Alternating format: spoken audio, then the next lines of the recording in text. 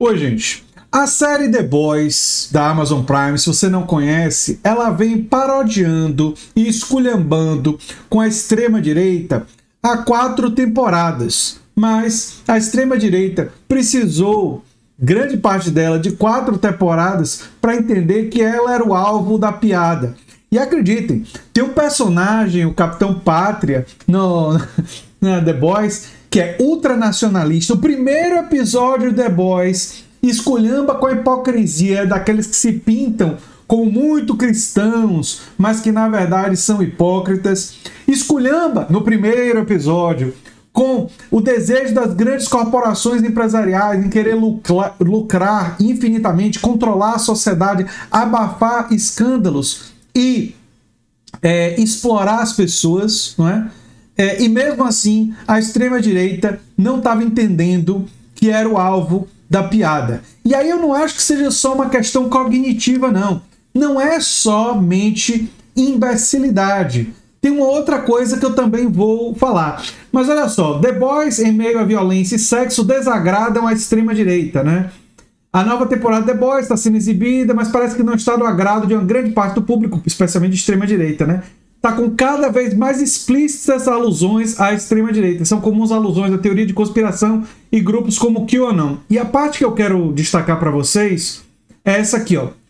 Para Roberto Sodowski, colunista da Splash, não há nada na quarta temporada da série que não tenha sido apresentado anteriormente, mas existe um recorte de fãs que, além de não entender a ironia fina da série, demorou esse tempo todo para ver que ele é mesmo o alvo da piada. Quer dizer, o pessoal de extrema-direita estava vendo a série sem entender que a série esculhamba com eles. Na série existem super-heróis, não é? É, é? é um mundo como se os super-heróis existissem e eles fossem explorados comercialmente por uma grande corporação, a VOTS, né?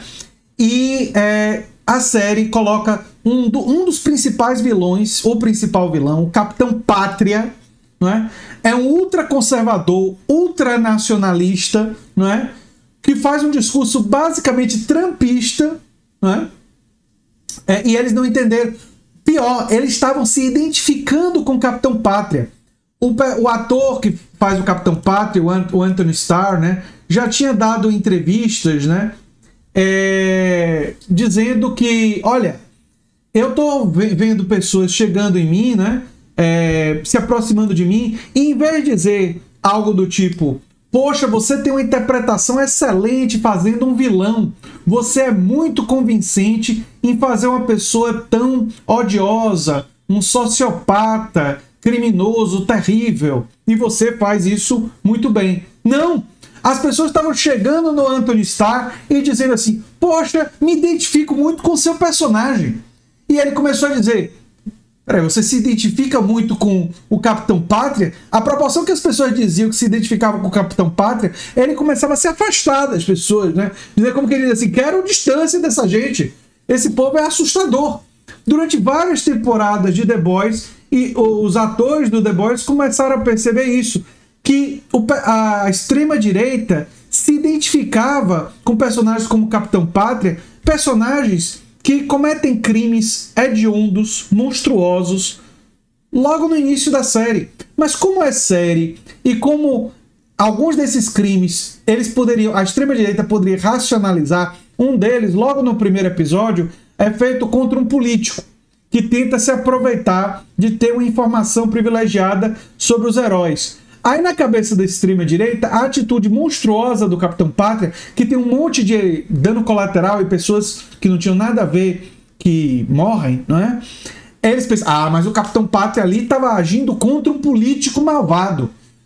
Um político é, ganancioso. Então ele está justificado em fazer essa coisa monstruosa. Isso diz uma coisa sobre a extrema direita que é assim, que é, que é pior do que a, a falta de inteligência e de cognição. É pior, porque pessoas terem problemas cognitivos ou dificuldade de entender coisas, isso é coisa que acontece com todos nós em alguma, alguma circunstância da vida. Né? Nem tudo a gente entende tão bem. Mas uma pessoa, o que entende justifica e admira justamente aquilo que o seriado quer demonizar e quer mostrar como maligno, é verdadeiramente assustador. E tem um, tem um lado então, que é meio engraçado da estupidez e tem um lado que é meio assustador, né? Olha só, saiu até uma reportagem aqui, ó. Os fãs descobrem que The Boys é de esquerda após três anos e reclamam na internet. ai, ai. É, descobriram que é woke ou progressista, né? Enfim, tem várias reportagens sobre isso. E por que é que as pessoas descobriram? Se você estiver pensando assim, mas o que é que eles fizeram para descobrir? Porque em temporadas anteriores o Capitão Pátria namorou com uma nazista, literalmente uma nazista. E mesmo isso não foi suficiente para esse pessoal perceber que eles estavam sendo alvo de zoação. Né? É, a, as propagandas da VOT eram claramente para mostrar uma grande corporação empresarial agindo de forma nefasta, divulgando notícias falsas. E mesmo assim, eles não perceberam. Mas aí chegou na quarta temporada e eles colocaram. Eu acho que os roteiristas do The Boys encheram o saco. Eles disseram: ah, sabe de uma? Esse pessoal não está entendendo a mensagem. A gente está sendo muito sutil tá sendo muito sofisticado assim. Não dá. Tem que enfiar assim na cara. E foi isso que eles fizeram na quarta temporada. Na quarta temporada, eles colocaram o francês para ser bissexual.